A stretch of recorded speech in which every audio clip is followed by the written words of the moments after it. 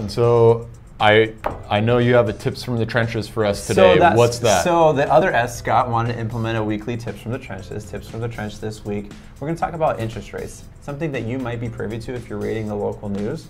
But if your if your rate right now is anything at 3.5% or higher, that's something that you might want to look into. They are at absolute historic lows right now. I personally have a high balance loan and I'm in the middle of doing possibly doing a refi myself and I was just quoted at 3.3%. Oh, wow. For a high balance loan. I know some people are getting quoted even lower than that right now and it mm-hmm. might even go down a little bit lower. So if if refinancing is something that's on your radar, if you're paying a rate that's higher than 3.5%, you definitely want to contact us today and we're going to put you with the right individuals to get you the lowest rate with the lowest cost possible so that way you guys are happy campers paying low fees, low monthly fees. So that's a little tip from the trench. Again, take a look at what you're paying in an interest rate. If it's higher than 3.5%, you need to contact us immediately and we'll do an analysis for you or put you in the contact with somebody who can do an even better analysis yeah. for you. Yeah, who doesn't like you the best saving rate. money? And, and you're talking about hundreds, if not thousands, of dollars That, I mean, a month. I mean, that's exactly right. So, like, the average savings for me is about $200 a month.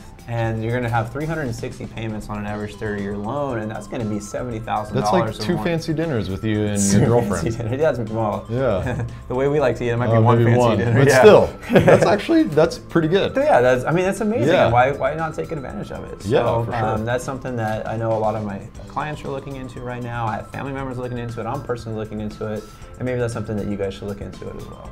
All right, awesome. All right, stay tuned for next week's SNL. We'll see you next time. All right, see ya.